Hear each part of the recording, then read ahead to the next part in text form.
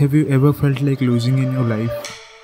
It may be something that you dreamt of achieving, or it may be people with whom you used to spend a huge amount of time, but now you hardly talk to once a year. Well, it is not that you are losing in your life, but it is what life is. When we are young, we feel like we can do anything. We feel invincible. But gradually we realize that everything in this life is temporary. Our life in this world is itself temporary. So, life shouldn't be a game of winning or losing. It should be a beautiful description of experiences. The journey itself should be so amazing that every win and every loss should seem insignificant in front of it.